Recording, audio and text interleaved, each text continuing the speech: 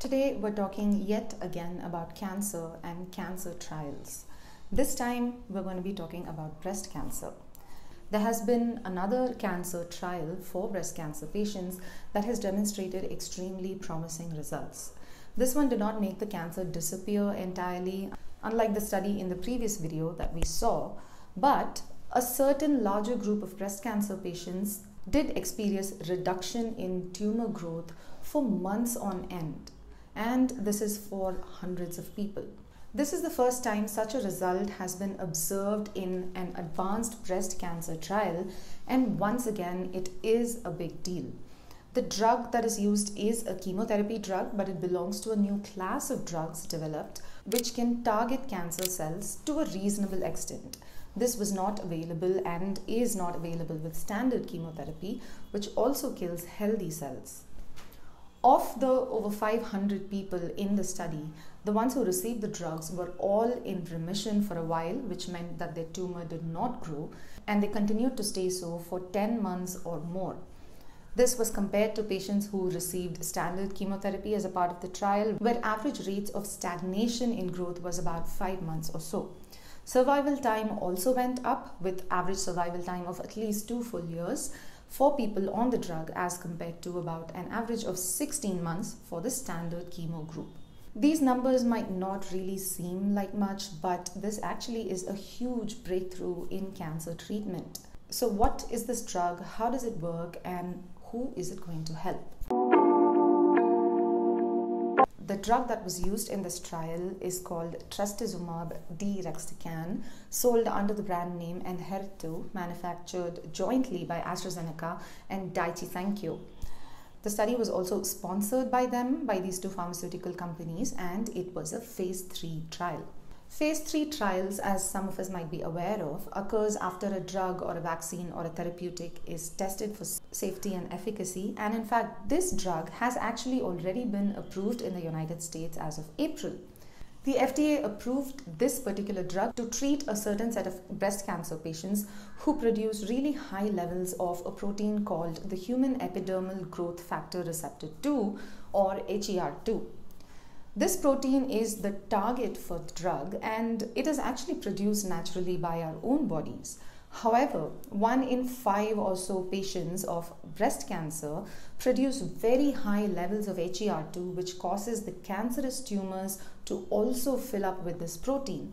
Such cancers are extremely aggressive and malignant and tend to spread very quickly. The drug, which is essentially a chemotherapy drug, targets these cells, and HER2 positive breast cancer patients respond very well to this treatment. This much we already know because the drug is approved for them. Those who produce high levels of HER2 protein are called HER2 positive breast cancer patients, while those who produce trace amounts or low amounts are just called HER2 low patients. This study looked at HER2 low patients who didn't have very high levels for this efficient targeted drug to work. This is still a large group of people as not everyone produces high levels of HER2 in their bodies. Some have just trace amounts and it has previously been observed in trials that drugs that are similar to the one that was tested out in this trial don't really work on HER2 low patients. But in this trial, the researchers found that this new drug enters any cell with any amount of HER2 protein on its surface meaning that the drug will enter HER2 low patient cells as well, moving through cell membranes and in between cancer cells.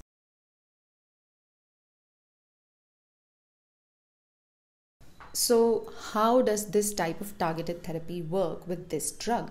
The drug molecule that acts on the cancer cells is a chemotherapy drug molecule, and these are attached to antibodies. These antibodies are scouting our system constantly for the HER2 protein on the surface of cells. And when they find a cell like that, they go and bind to the HER2 receptor, slowing down the replication of those cells. These are monoclonal antibodies, which then get absorbed into the cell as well. And along with it, the antibody carries the chemotherapy drug molecule that's attached to it. Once this combination enters the cell, the drug molecule detaches itself from the antibody and activates and destroys the cancerous cell. These kind of drugs belong to a new class of drugs called antibody drug conjugates, which are targeted therapies for treating cancer as compared to standard chemotherapy drugs, which also destroy healthy cells. These cells use the targeting abilities of monoclonal antibodies and carry with them the cancer killing drugs. This combination can recognize healthy cells from cancerous cells and know exactly which ones to destroy. Trastuzumab, which we have actually been familiar with for a couple of decades and have used, is the humanized monoclonal antibody here, which identifies these cells. Deruxtecan is the chemotherapy drug. This drug is in fact a type of drug called a topoisomerase inhibitor, which means that it prevents cells from making structural changes to their DNA and also from replicating. So, when these cancerous cells, which have the drug inside them, attempt to perform cell division, they get corrupted. DNA damage occurs and the cell gets destroyed. This is how, at a cellular molecular level, this drug destroys cancer cells. The drug also produced the normal side effects that chemotherapy produces, such as fever, headaches, susceptibility to other infections, loss of sleep, rashes, nausea, and vomiting to various degrees of severity, with actually, in fact, three patients dying due to lung injuries. These are, of course, very serious adverse events, and sadly, for cancer treatment, such adverse events are not really uncommon. The authors note that serious adverse events occurred in over 52% of the patients who received the drug and among those who received standard chemotherapy, there were over 67% who experienced serious adverse effects. 12% of the participants who received this drug developed drug related lung disease, which also unfortunately is a common side effect of chemotherapy.